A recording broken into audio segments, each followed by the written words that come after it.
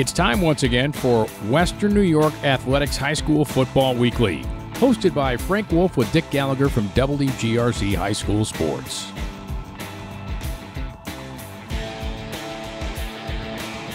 Today's show is brought to you by Scroy Financial of West Seneca, the Paul Wolf Agency in Kenmore, CSA Prep Star, the North End Bar and Grill, Cipriano Realtors, BuffaloSportsPage.com, and by Southtown Trophies in Orchard Park, New York, a proud sponsor of the Buffalo Sports Page Athlete of the Week Award, announced each week on BuffaloSportsPage.com. Hi, I'm Pat Scroy, president of Scroy Financial. We've been helping people realize their financial dreams for nearly 50 years. Your goals may include building wealth for a comfortable retirement, protection from the burdens of long term care, or leaving a legacy to your children and grandchildren. With all these diverse goals, retirement planning should not be a one size fits all process, and at Scroy Financial, it's not. Whether you are just getting started or nearing retirement, give us a call. Plan, protect, invest. It's your life. Scroy Financial can help.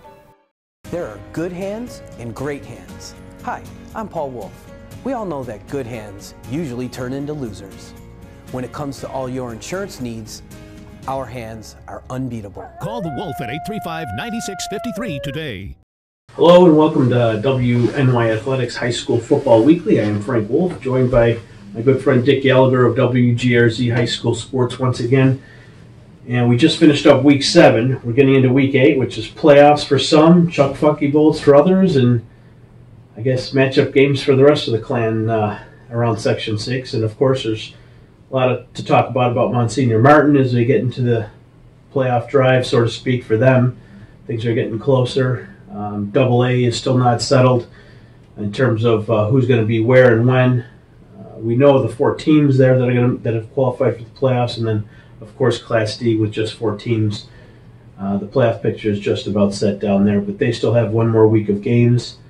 Uh, in those two divisions. In Double A, we're waiting to find out the winner of Lancaster and Orchard Park this Friday night. Will determine who gets a home game, who doesn't, and uh, where Will North will go, and what's going to happen with Bennett. So we can talk a little bit about that as the show goes on. Dick, I saw a lot of you this past weekend. I saw you a lot on Saturday, and it was always a pleasure to see you when you're out at a game. And of course, you get a hero's welcome wherever you go. Um, so I saw you at McKinley Jamestown and uh, you were taking that one in.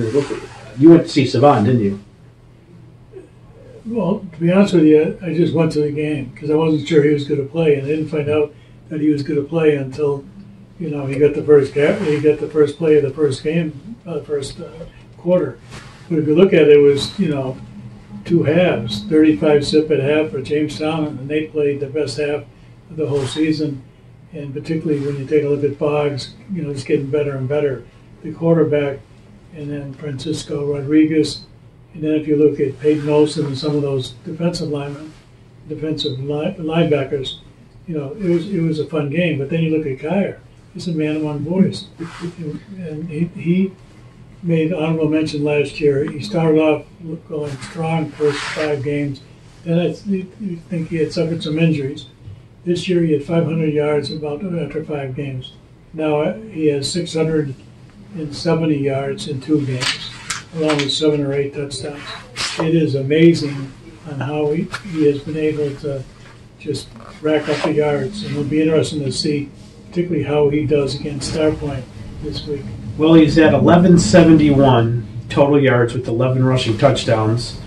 And according to our stats of teams that report stats of WNY Athletics, we have him in at third, just behind Joel Cologne from Fredonia Brockton, and then Mike Riggerman, 1557 of Pioneer. Uh, Riggerman, of course, with 22 touchdowns. Now, I have a feeling that we're missing a game or two from Riggerman here in the overall uh, stats, so we'll have to get some. Uh, we'll have to figure that out. And, are we? Because I was pretty. Clo- I'm pretty sure that he's closer to 2,000 yards. I could be wrong, but uh, either way, Riggerman's having one heck of a season uh, for Pioneer. Uh, Cologne, I got to see on Friday night run against uh, Dunkirk in that rivalry game. Exceptional game for him and for of Fredonia, really. Uh, Cleckley uh, is in fourth. He went over a thousand yards. Uh, he's at one, uh, 1031. He went over a thousand yards the week before, and as and Cologne just went over a thousand yards on Friday. Uh, collectively, I've got him at 1031, 13 touchdowns. Uh, he had a touchdown on Friday in the rivalry game. And then Robbie Penhollow is there at fifth from Cassadaga Falconer at 1031 and 15 touchdowns. And uh, he's also got four receiving touchdowns, leading the way for most of these running backs. Um, but week seven was a pretty good week for most uh, of uh, the teams that we thought were going to make runs deeper in the playoffs. Of course, West Seneca West beating West Seneca East. Um, and then, of course, Fredonia beating Dunkirk, Cheektowaga beating Maryvale. They're playing the right kind of football at the right time of the season. Uh, Cheektowaga in particular, they really only had that one loss against Pioneer a few weeks ago. They've shut out five teams this year, so Cheektowaga's firing on all cylinders.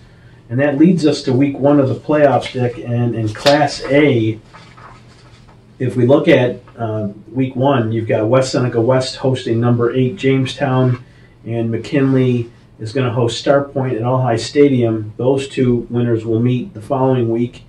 And on the other side of the bracket, you've got Grand Island, a two seed, hosting South Park 7. And that sounds kind of funny that South Park would be a number 7 seed, but they are. They very easily could be a 1 2 or a 3 seed. And then West Seneca East, a third seed, going up against Kenmore West. Those are all Friday night games. I'm not sure which one you've got circled or which one you're going to watch. I know that the Spectrum game is going to be Grand Island and South Park. Uh, the WNY Athletics game will be McKinley and Starpoint on Friday night, so we'll have the audio broadcast of that game with John Zagai and or Matt Zagai and John Simon, and then of course Spectrum will have uh, the game out at Grand Island. I don't know which is the the bigger game. I get, they're all big games, I would imagine, for each one of the teams in their own right. But the toughest of the four Wow, I, I, don't know if it's Grand Island South Park or McKinley Starpoint, but I'll ask you, which one do you think is? is I think South Park, Grand Island, mainly because Grand Island lost the opener to Starpoint, and they've won six in a row. And Kampsiunko has been on fire along with the three uh, wide receivers, and particularly Justin Garrell. Uh, and defensively, they played very well. I don't think they played a team as physical as South Park, so it'll be interesting to see how they match up. But that to me is a game that could go right down to the last uh, series and the last couple of minutes as far as who, who wins. The Starpoint and, and uh, McKinley game to me is going to be can Starpoint stop Fields and also then can McKinley stop the passing game of Aaron Chase. And right now he has the, the third most uh, yards, excuse me, he, he will need, I think, 219 yards to become the third most passer in in a season with yardage, and then also he's got 25 touchdowns, and uh, you know he's he, he's close to Licata's record, but also Cole Snyder is also up there with 29 touchdowns. It's only eight behind uh, uh, Joe Licata. So I think that that what you're going to see is when we started the season, we said it was going to be the year of the quarterback. Now when you take a look at Jake Ritz, you take Cole Snyder, and you take uh, Aaron Chase. Those three are outstanding. They have stats galore. There's other coaches that are also outstanding, Our other quarterbacks, like Kashawn Beal. Last year he had like almost 3,300 uh, passing and running. His stats don't measure up to that this year but they're winning. They're in the playoffs, and uh, defensively, that's the strength of the Warriors now. Yeah, Keyshawn Beal should finish up with around 1,500 passing yards and another 1,500 rushing yards, which is a considerable uh, feat considering you know the teams that he has to play up play against. So I, you know, obviously Beal's having uh, another Connolly Cup type season. He'll definitely uh, uh some recognition there, along with Aaron Chase and Cole Snyder and Jake Ritz, of course. Those are probably your top four quarterbacks around Western New York uh, at this particular time, anyways. They've shown it week in, week out. I wonder if Value from Canisius will get any love, or Frericks from Wilson, who's having a fantastic season. Um, you know, Maurice Robinson has come on the last five weeks or so. Um, tough news out of Clarence for Jake Putney in that right. game against Orchard Park. Uh, I believe it was a collarbone. Uh, so that's tough news for them. He's not going to be able to finish out the season. Zach Boys has played really well the last couple of weeks, maybe three weeks even uh, for Kenmore West. He's really been able to find his uh, find his receivers, playing much better football there in his first year under center for Coach John Haynes. Garrett Hinsdale from CSP. Um, they're having their way with teams down there, and uh, who knows? Who knows who else would enter that conversation in terms of the top quarterbacks? You could even talk about Davian Humphrey from South Park and Cam Cianco from Grand Island as they lock horns this Friday night. I don't know if Grand Island. I agree with you. I don't think they've played anyone as physical as South Park. Um, you've got that Renfro on defense, who's one of the top defensive players in the league. Uh, they're very physical, and uh, you know I think they're they're disciplined enough to um, to keep uh, their emotions in check things of that nature. Where you see with other teams where the simplest penalty for holding or something, they kind of lose uh, control and, and you know it's the domino effect. But with South Park, I didn't I haven't necessarily seen that. So I would expect South Park to. I think South Park could win the game. I don't think anyone. Uh, I think you can make a case for either team, but I like South Park in this one in particular just because I think they've been battle tested with the West Seneca East and with Starpoint games that they probably could have won. Um, so I just think that they have got uh, they've got you know that momentum on their side right now at least. Well, I think if you look at the opening week in Starpoint and Grand Island, Star, Starpoint wound up winning the game, but Grand Island did not play its best, particularly when Cam got hurt in the first quarter, along with Jeremiah Wilkes, I think got hurt in the first half. That hurt them big time. If you look at what they've done and dominated the last six opponents, then you get into Starpoint, uh, Grand Island, similar, and Starpoint wound up winning and, and defeating South Park. So it's going to depend me. It's going to depend on who's going to avoid the turnovers, what quarterback is going to have, you know, an outstanding game, because it's going to be a fun game to watch, and there should be, you know, some points put on the board. Yeah, Clarence Thomas is running harder than I've ever seen him. He's looks like he's 100% healthy. Um, so Grand Island is going to have their hands full with a very physical offensive line and a power running game. And then Davion's got he's starting to get his touch back. Um, you know, he he threw the ball pretty well last Thursday, and the defense again. Uh, they've got uh, one of the I think believe they're the leader in sacks in New York State on their sideline. Is it Washington or I'm not exactly sure what his name is, but uh, one of the top defensive players. Lewis got Elijah Lewis Lewis? 11 sacks. Okay, that might be number one in New York State or at the top. And he, and he was, uh, I think, second or third team last Okay. year Western New York. He's he's 6'3", 190, got tremendous quickness. Then you look at that line, you know, you- uh, Greg uh, Braswell Hmm. is also, you know, a big lineman, and he dominates on, uh, he's got like 68 ta- tackles. You mentioned So if you take a look at that game, it's a, to me it's a toss up, and it, and it's going to come down to whoever wants it more, who's going to dig, dig deeper, and who's going to avoid the mistakes. that's one area of concern for South Park is the kicking game. The kicking game there is non-existent, and so it's like, but the kicking game, for example, Williamsville South, Williamsville East last week. I don't think they had a punt in the game, and uh, South was on the, their own thirty, and they had a fourth down, and they wound up making it. But it's like Craig Krasinski doesn't like the punt. There was a team that went undefeated, won a state championship in the South three or four years ago. The the coach never has punted one time. He always says he wants the ball. He doesn't want to give up the ball, and he wound up uh, winning a state championship. Will that occur here? I don't think so. First of all, our kicking game, for the most part, is not good at all, and I don't think many of the coaches really put the time into nurturing a kicker. And I would be recruiting the soccer players in a heartbeat to come and be a kicker.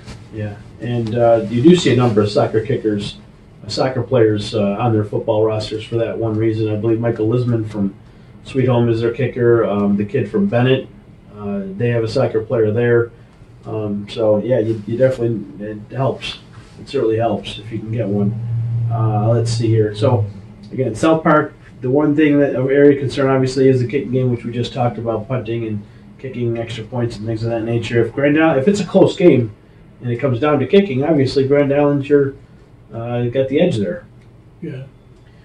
McKinley Starpoint. You said it. You said it already. Kyer Fields is is the story there. If he's running the ball well, then Starpoint could have some some issues there. If they can't stop Kyer Fields, then they're not going to be able to get Chase on the field to throw those touchdowns. Right, and then, and particularly in the game Saturday with Jamestown, their passing game uh, was not connecting. Mm. And it might have connected in the fourth quarter, but I don't know if it's going to be enough, you know, to uh, combine with Beals to really give, uh, excuse me, the Spartans a game. Yeah, I would I would agree there. Um, is there anything you liked Saturday out of Jamestown that gives you the idea that they can play with West Seneca West on Friday night, or is that West Seneca West all the way? I think they can play with Seneca West. The key to me is West Seneca West has the best team in the A's, and they dominated during the season. They won 22 straight games.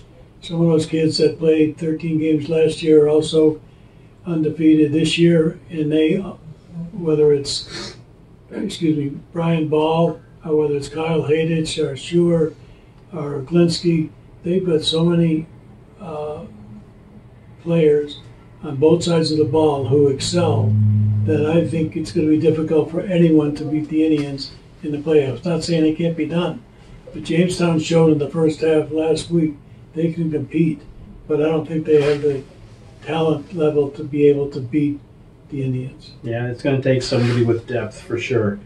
Um, it'll, uh, Brian Ball, uh, John Spire, you know, keep the ball on the ground in their hands, and they, they, they should cruise to victory there. And again, with Glinsky and Shire on defense and the rest of the gang, they don't give up a lot of yards. And the player that doesn't get talked about much this year, who was pretty much in the thick of things uh, last year, was Justin Johnson. So I, I wonder uh, if he doesn't have the numbers this year that he had last Right. year. And it's not that he's not uh, putting up good numbers. He's you know, but he hasn't been the focal point of the offense this year. He hasn't needed to be. So I wonder if that's something they're waiting for, uh, maybe for the playoffs, maybe next week. You might see Justin Johnson worked into the game plan a little bit more if they need him. Uh, but Well, I think he had five, five catches it, th- th- this past week and 93 yards. But on the defensive side, Linsky has, I think, 80 tackles. Penhollow, I think, has 101 tackles from, uh, excuse me, Fredonia, uh, yes, Brockton. Cassadaga I mean- Valley. Yeah, yeah. from Falconer Casting Yeah. Valley. And those are the two uh, players that I'm aware of that are really up there in tackles. And when you take Linsky and you take Shore and you take the rest of that defense, it, you know, it's one of the you know, the best defenses, not only West New York in the state. Then if you look at South Park's defense, that defense is also tough. Yes, absolutely. West Seneca East and Kenmore West is the other game on Friday night. It's a 3 6 matchup there. West Seneca East suffered their first losses last Friday in the rivalry game. Uh, Kenmore West has been playing better football as of late, but West Seneca East has been dominant all year uh, until this past weekend, um, in which they still played a tough game. They still played tough against West Seneca West. Um, but I wonder if Kenmore West can stop Dolac. No one's really been able to do that just yet until you know, he ran into Glinsky So I and think company. I think the key is is uh, Joe Stewart had to come out of the game, and then his sub Cam Crozier comes in and scores seven touchdowns. And the question is, why was he on the bench all season, given he only had a couple of hundred yards? But Joe Stewart is an outstanding player on both sides of the ball. It should be an All West York candidate, first or second team. So if Joe is healthy, and then all of a sudden now they have an additional uh, player that they can really count on, Cam, uh, that that'll uh, you know give give give the, give the excuse me Blue Devils some you know a, a lot to uh, play against West Seneca East. And I think you know West Seneca East. The question is, are they going to be able to rebound from the loss to West Seneca West? That's just it. They played tough. They played a tough team.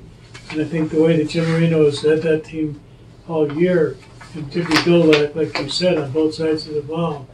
But I think they're going to need other offense Yeah. besides Dolak to be able to win that game. Yeah, they seem to be a pretty resilient bunch. I wouldn't be surprised if they bounce back in a big way. Uh, we'll have to see. I know Crozier is more of a receiver um, with Stewart, uh, and I, we're waiting to hear if he's going to make it back. I know that uh, there was concern there. He saw a doctor yesterday, haven't gotten the results back, but there's a good chance Stewart will return, and they're going to need him. They're going to need Joe Stewart, no question about it, on Friday night. Uh, he is a big part of that team on the sidelines, great teammate, good locker room guy, and everything else for the Blue Devils. So I'm, I'm sure they're going to want Stewart back. Heading into the Bees, Albion and Lackawanna are going to go at it one more time. I saw them in week two. Um, Albion did a number on them. Lackawanna had a hard time moving the ball against that Albion defense led by Eugene Harrison, uh, who is uh, nominated for County Cup a couple of t- at least once this year, and definitely last year. Uh, uh, Bryce Pitt- Pritchard's a pretty good quarterback. Albion's defense was pretty good this year too. They didn't give up a whole heck of a lot of points. And they've beaten a number of good teams this year, including Olean and then Lackawanna earlier in the season. So that's a 1 8 matchup. They play Friday night in Albion. Cheektowaga Dunkirk. Cheektowagas, since the Pioneer game, has been playing on another level. Again, we mentioned earlier how they have the five shutouts. Dunkirk, they didn't look great to me last week against Fredonia. They looked okay. Um, if Cleckley's not going, they're going to have a hard time moving the football against I- I- Cheektowaga. I think this game, when you take a look at Cheektowaga's defense, and particularly with Taiwan uh, Smith not being able to play, It hurts them. It hurts them big, big time, particularly offensively. And if you don't have um, multiple offensive schemes against Cheektowaga, you're going to have a tough time beating them. And I think the Warriors, particularly when you look at Mike Fadden, what their record is, what they've done in the last four four years, that, it, that that to me, the Warriors would be the favorite in that game. I would have to agree. I, I give, I definitely give Dunkirk a chance if Cleckley can get going and that offensive line can can give him the uh, the room to move, and he can find some green light. Uh, I like Dunkirk's run game for sure, and their quarterback isn't bad. Uh, Messina's not a bad quarterback down there. Uh, just has a hard time getting uh, receivers open to make plays down there. Maybe they could try some short uh, screen passes or something, shorten it up a little bit, but we'll have to see what Dunkirk wants to do. It's still a very tough team. Don't get me wrong; they're a tough team, but uh, the way Cheektowaga can can do things with Keyshawn Beal, running the ball, throwing the ball, Bass is an exceptional receiver, and then defensively they're tough, extremely tough. So Cheektowaga will have their, or Dunkirk's going to have their hands full. It's a four-five matchup at Cheektowaga on Friday night. Fredonia Brockton, a two seed taking on Maryvale, a seven seed. I did see the Fredonia Dunkirk game last week, and I know Cologne is an exceptional running back, but to me, the best player on the field that day was uh, that Skinner kid, Jacob Skinner. And he's a kid that I wish more people knew about. Um, and Cologne's getting a lot of attention, and rightfully so, because he is putting up the numbers, and he is a quality running back. He really is. Um, Maryvale, though, has Rashad Law, and a lot of times, whenever Maryvale is on the field, I don't care who they're playing. Rashad Law is usually one of the top one or two players on the field. Whenever he takes the field, he is that good. So for Fredonia Brockton, it's gonna it's gonna be about stopping Rashad Law on uh, on Friday. If Fredonia Brockton wants, because it's a two seven matchup, but it could be it's just like Grand Island South Park to me. You know, you, could swap that around real easily. Uh, it's very you know Maryvale could be a two, and Fredonia Brockton could very easily be a seven. Well, the key to that game also is Connor Desiderio. Yeah. He hasn't put up a lot of numbers this year, but if he manages the game and being able to make some completions and get the wide receivers, but they, their defense, particularly their defensive line linebackers, is outstanding. But when you look at Jake Skinner, excuse me, not only is he a good tight end, but he's also an outstanding linebacker. He's, he's only a junior. He's 6'4", two, you know, 210 or whatever and he, he's got a wonderful future ahead of him. And you're right, he's been under the radar screen, but he's not going to be under the radar No. screen in the playoffs. I'll tell you what, he's. I would say he's a top three, top five wide receiver in Western New York. He's such a big target, very reliable hands, uh, and a good runner. Um, they're going to have their hand. Maryvale's going to have their hands full with him Um, but I would like, I would, I don't think we've seen the best of Connor Desiderio this year. I think he's got a lot more left in him. So I would be surprised. I would be surprised if Maryvale didn't advance. Um, I just think that they have more, a few more playmakers than Fredonia, but we'll see. That Fredonia defense is no joke either. You know, they they're a very tough defense to play against. Um, are they as good as Pioneers defense? We'll have to wait and see. We'll have to wait and see. This is, uh, you know, Pioneer did a number on Maryvale in the second half uh, when they played. So I'd be, I'm very interested to see how see this game, and I think I'm going to head down there for that one. Uh, I wouldn't be surprised if Fredonia Brockton upset Maryvale, And I agree with you when you look at the, the, the rankings, two seven or uh, it, it, you know you could just reverse it. Yeah. Yeah. How about Pioneer Olean, the 3 6 matchup? Olean's been a little inconsistent this year. They've shown at times that they looked very good, and other times they just didn't look like they belonged. Well, last, same last field week they showed they belong by coming back and beating Lackawanna. Yes. Two weeks ago, they showed they don't belong by losing to Salamanca, a Class D team. Yes. 24 to 12, which made no sense whatsoever. And then to come back and beat Lackawanna, the key to Olean is, uh, is Alec Wakefield on both sides of the ball. They're going to need a huge game from him, but I just don't think they're uh, going to be able to match up with the defense of Pioneer and Riggerman. Riggerman to me is special and has got to be one of the leading candidates for Player of the Year. The kid never quits, never kid never comes off the field, and he's just fun to watch. And the thing I like about Pioneer and Riggerman, you know, first quarter doesn't doesn't look like a whole heck of a lot. I mean, he looks like a big tough runner, and then the second quarter comes, and those two and three yard gains turn into four and seven yard gains. The third quarter comes, those four and seven yard gains turn into eight and ten yard gains. And then the fourth quarter's there. Next thing you know, he's scoring two or three touchdowns of thirty yards or more. So Riggerman and specifically that Pioneer offensive line, they wear you down, and I think that's where that's their strength. Obviously, is their offensive line and Riggerman wearing you down and playing the full four quarters, and that's probably where they outlast a team like Olean and why they're such a threat this year to win B overall. particularly Trevor Smith, the defensive lineman, senior. He's outstanding for Pioneer, and Denton Tilley's only a junior, but six six four, six five, three two hundred and fifty pounds. He's only a junior, and uh, he'll he'll both of those probably will will make all West New York team uh, somewhere. I don't know what the weather's supposed to be like exactly on Friday. I'm hearing could be some rain. Well, what I'm hearing is supposed to be going down to twenty or thirty. Yeah. So I think besides the rain, if the rain comes along with going down to 30 to 20, that changes the dynamic. It does. And that's where, and I'll go back to it real quick. That Fredonia game playing down in the Orange Bowl, uh, that could be, that's definitely going to work in their favor. If it's, if the weather gets too cold and, and, and a sloppy field, I think that fits Fredonia more than it does Maryvale. That, that, that'll be interesting. But it's, you know, we've had good weather pretty much all throughout the season. Yeah, except for that one week, week four or week five it was. But we were, and that was only, I mean, that was Friday, Saturday games where, you know, Yeah. you know, it didn't rain. But when you come down to crunch time, and this is crunch time because if you win three more games, you're sectional championship. If you win th- six more games, you're a state champion. And when you take a look, do we have some teams that can compete for state championships? Definitely. But in order to win a state championship, the kids today have to understand to move along in the playoffs, they have to play the best game they ever played, each and every game. And if they don't take their game to another height than the previous game, they're going to be in the outside looking in. Certainly. There's no more easy games. If there ever was an easy game, that happened weeks ago. Because right now, you're getting the best of the best. You, you know, everyone's pumped up for playoffs, and for a lot of these kids, they know it's their last. It could be their last high school game, so they're going to leave it all out on the field. And I, I like to say it's prime time, it's show time, it's game time, and it's your time, basically the players. Absolutely, absolutely.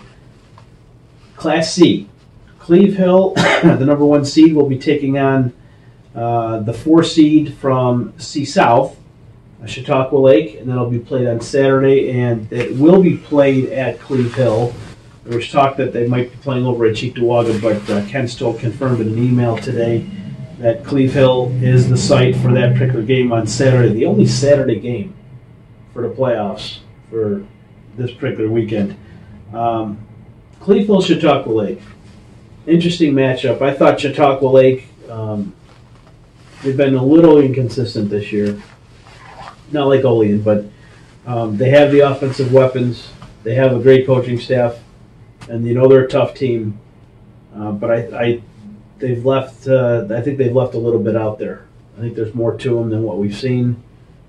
But can they stop that Cleve Hill running game?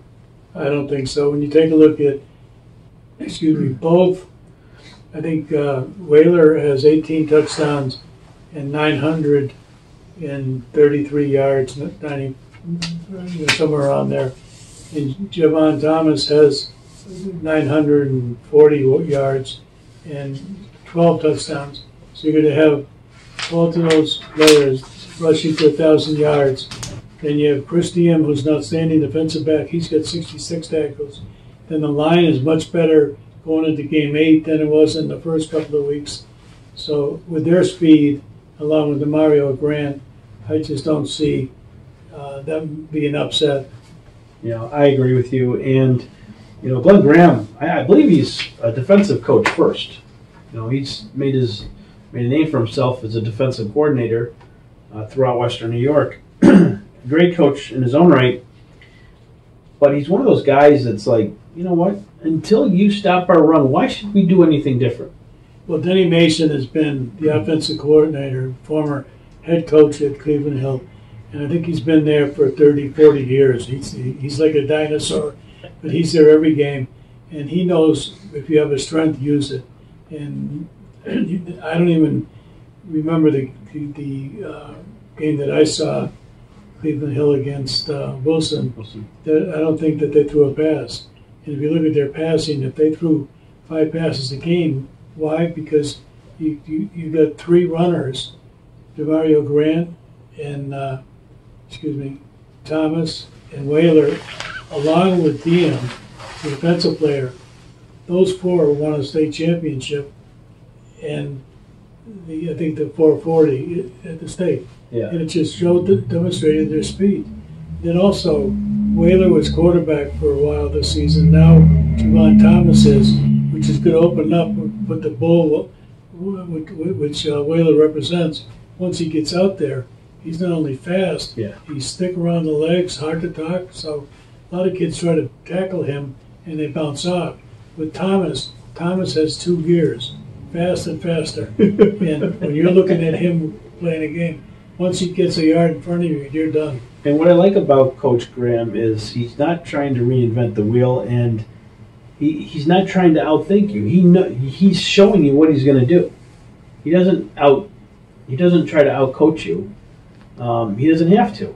I mean, he puts all his cards out there. Where I think a lot of coaches get into trouble, they'll they'll start one form of they'll, they'll rely on one player for the first few plays or maybe the first few series. They'll try this, try that, and you know they give up on it too soon. I think they give up on a lot of their players too soon. Is it? But Have you know? Do you notice that at all, or is it am I crazy? no, no, no. But you know, a lot of coaches do different things. But Glenn, he's been around for 19 years, I believe, as head coach at Cleveland Hill. But he also has over 100 wins. You don't get over 100 wins by not being a good coach and having out coaching staff. And so, if you look at their coaching staff, and you get Chad Curris along with Denny Mason, along with Glenn Graham, it doesn't get any better. The kids trust them. They trust the kids. All they do is win. Yeah. yeah I just I, some of the games I've seen uh, this year, past years, where coaches had the horses and they just um, pulled away from the original game plan, made made the wrong adjustments. They outthink themselves. They try to outthink the coach. Whereas a coach like Graham says, "This is what we have. This is our strength. Stop it." And until you do, I'm not changing. Why would he? And one of the things, in, in, to go from talking about you know the C game to double A, but to me, if I'm coaching Dylan Kelly, I'm giving him 12 to 15 touches every game. I'm not giving him three touches by throwing him three passes. I'm, he's the fastest. He's got to be one of the fastest kids on.